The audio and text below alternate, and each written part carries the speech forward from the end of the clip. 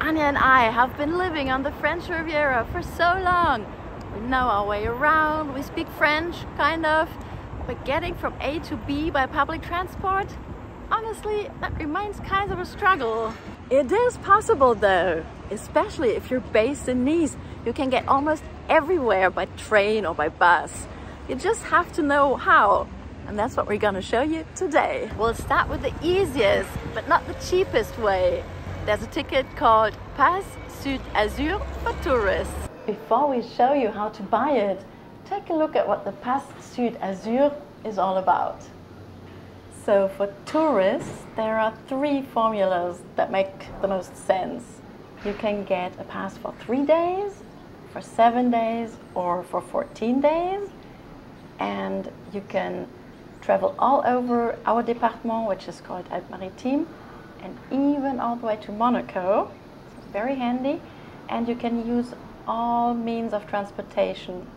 That's trains, buses, and even the tram streetcars. And you can use as many trains and buses and trams as you like. So the three-day pass is 35 euros per person. For seven days, you pay 50 euros per person.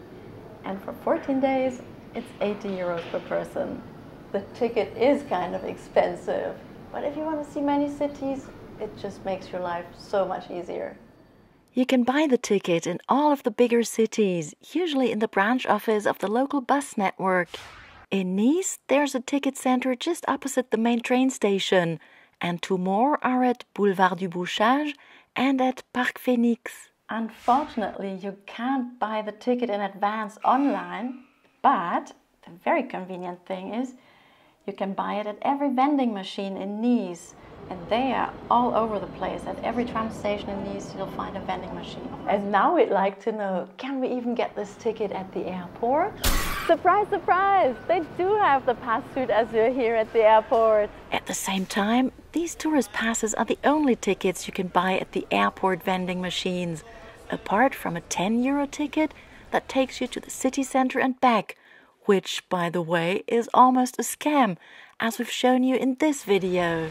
So now that you have your ticket, you're gonna wanna know how to get from A to B.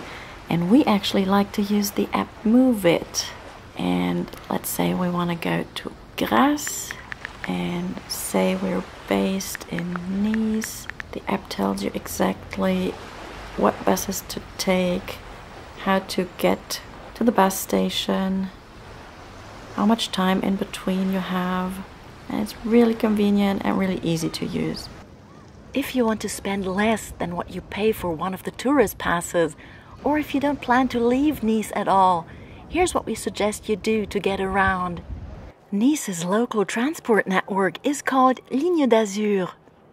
Three tram lines and 144 bus lines take you all over the 51 municipalities that belong to the metropolitan area of Nice.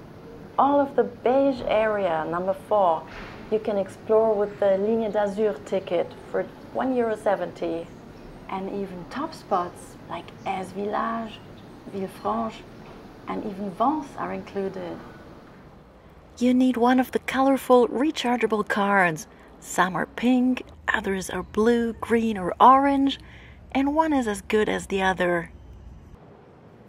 The easiest way to get your card is at a vending machine at one of the tram stations. Choose English, and there's many different options for tickets 10 tri trips, one trip, two trips, and so forth.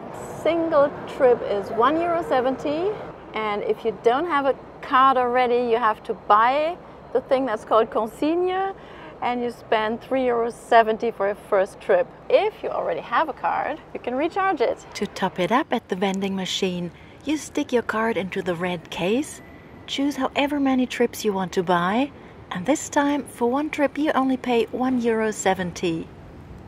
If you buy your card on a bus, you'll be charged 4 euros for the card itself and for the first trip. There's a little service fee included.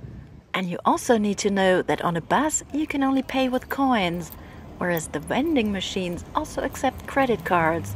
Good to know is also that your partner or family don't need an extra card. If there's four of you taking a bus or tram, You just swipe your card four times for validation. So let's see if the machine knows how much money is left on the card. And if you're totally lost, they even have a hotline that you can call. And they speak English, of course, and you could ask any question that comes to your mind concerning your ticket or destinations, wherever you want to go to. Lignes d'Azur also has two apps that are very handy. If you speak French, you need Lignes d'Azur ticket to recharge your card. And the one called Lignes d'Azur Mobile is for everything concerning your itinerary and all kinds of information that you might need. Many of you have asked us how to get to Èze Village, this the cute perched village, and we'll show you on the app of Lignes d'Azur Mobile. D'où partez-vous? You put where you're gonna start. Let's say we start in Nice, Place Masséna, and we're going to Èze Village. It's really important to put village as well because you want to land at the perched village and not down by the sea, otherwise you'd have to climb up. And this app really nicely shows you the way and it takes you all the way to cute little Èze. By the way, all the cards we've mentioned can be recharged and the card alone costs 2 euros, which will be refunded when returned in one of the branch offices. There is no way to return the card at the airport, which is not very customer friendly, we think. But if you come back to Nice, you can keep using the card then. In that case, remember to leave a journey on it, which can take you to your hotel for just 1 euro 70 when you're back.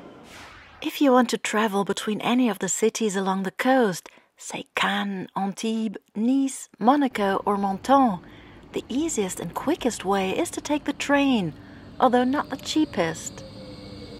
You can get your tickets at the train station, like right here in Nice.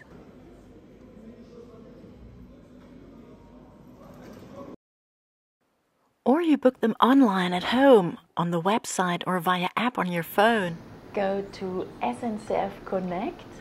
If everything pops up in French, you scroll down to the very bottom almost, and here you'll find your language and if you want to have English, it's going to be Europe. There we go. A very common trip would be to go from Nice to Monaco, for example, and that costs €4.90. And there's also an app, SNCF Connect, which is very convenient because it also speaks English. And if you're three persons or even more, the app automatically applies a mini group fare, which gets a lot cheaper. Like for three people, you would just pay 10 euro 50. Now, if you want to leave Nice, the surrounding places, and the coast, there's another transport network that comes into play Zou. So, say you want to go from Nice to Antibes and not take the train. That means you're going to be changing transport networks, which makes things more complicated. The Zou buses take you from one city to another and they operate in the entire PACA region circled in blue. A simple Zou bus ticket is currently 2 euros 10. But if you're changing networks, like hop from a Lignes d'Azur bus in the Nice metropolitan area on a Zou bus that takes you to Antibes, you need a so-called ticket Azur for 2 euros 50, which allows you to switch trams and buses several times if necessary. The easiest way to get a ticket Azur in Nice is once again at one of the vending machines at a tram station. The tricky part is you can't buy the return ticket in Nice. So if we said we were going to Antibes, you would have to get your return ticket in Antibes. The easiest way would be to buy it directly with a bus driver. Are you all confused now? We can assure you it sounds more complicated than it is. You'll get there. Thanks for watching. We mentioned Monaco several times during our film as a possible destination you'd like to go to. And you know what? We got a film. We made a film about it and you can watch it right here if you click on this one.